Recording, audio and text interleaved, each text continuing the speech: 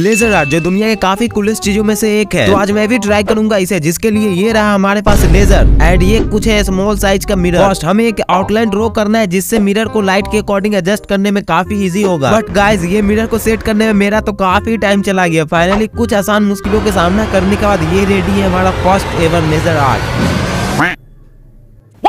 हाँ ये एकदम सिंपल आर्ट है बट अगर आप इस वीडियो में 500 लाइक को कंप्लीट कर देते हो तो मैं इससे एडवांस लेवल का आर्ट बनाकर दिखाऊँगा।